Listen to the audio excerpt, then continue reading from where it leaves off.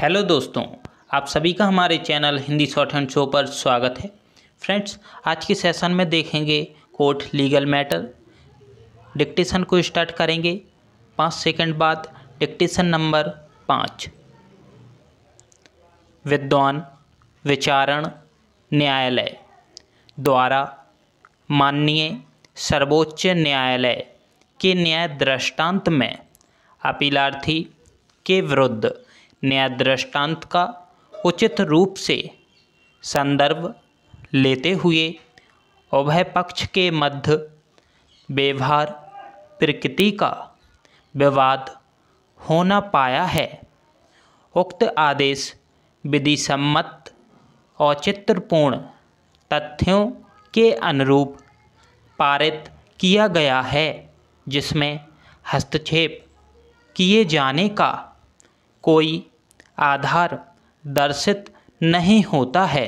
अतः विद्वान विचारण न्यायालय का आदेश दिनांक इक्कीस चार पंद्रह की पुष्टि की जाती है तथा पुनरीक्षणकर्ता की ओर से प्रस्तुत पुनरीक्षण याचिका प्रमाण के अभाव में निरस्त की जाती है।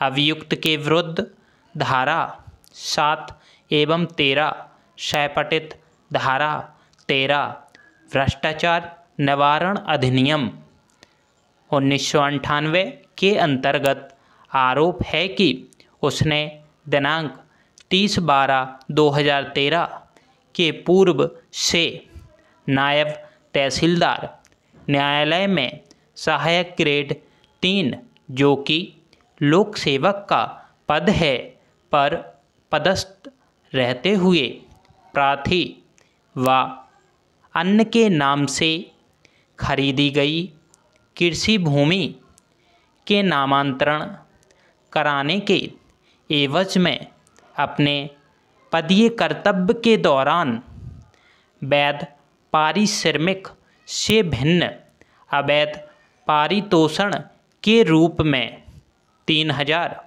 रुपये की मांग की एवं दिनांक तीस एक दो हज़ार तेरह को प्रार्थी एवं अभियोगी से वैध पारिश्रमिक से भिन्न अवैध पारितोषण की राशि रुपये दो हज़ार प्राप्त किए तथा लोक सेवक के पद पर पदस्थ रहते हुए भ्रष्ट या अवैध साधनों से अपने पद का दुरुपयोग करते हुए दिनांक तीस एक दो हज़ार तेरह को अभियोगी से दो हज़ार रुपये स्वयं के लिए वैध पारिश्रमिक से भिन्न राशि प्राप्त कर आपराधिक अवचार का अपराध कारित किया।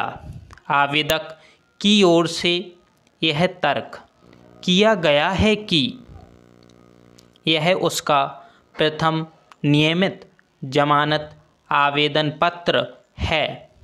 इसके अतिरिक्त अन्य कोई आवेदन माननीय सर्वोच्च न्यायालय के समक्ष ना तो लंबित है और ना ही निराकृत किया गया है।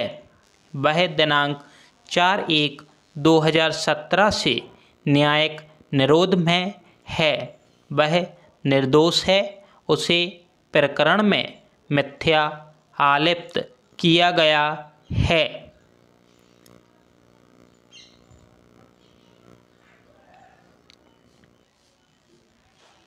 प्रकरण के निराकरण में समय लगने की संभावना है, अभियुक्त शिवपुरी ज़िले का स्थायी निवासी है। उसके भागने एवं फरार होने की कोई संभावना नहीं है।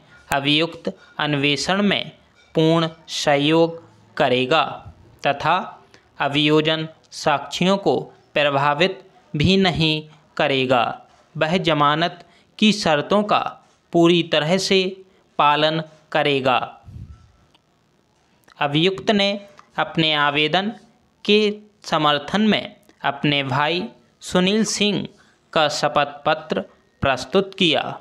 किसी प्रकरण में यदि कोई साक्ष्य अपीलार्थी की ओर से पेश किया गया है और उस साक्ष्य पर किसी भी अभियोजन साक्षी के द्वारा कोई विरोध नहीं करता है तो ऐसी स्थिति में न्यायाधीश उस मामले में गंभीरता से विचार विमर्श करेगा और तब अपने अंतिम निर्णय को अभिलिखित करेगा।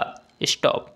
फ्रेंड्स, आपको यह डिक्टेशन कैसा लगा? आप प्लीज़ कमेंट करके ज़रूर बताएँ और जितने इसमें वर्ड बनाने में आपको कोई भी प्रॉब्लम जाती है तो वीडियो के डिस्क्रिप्शन में जो लिंक दी हुई है, उसे ओपन करें।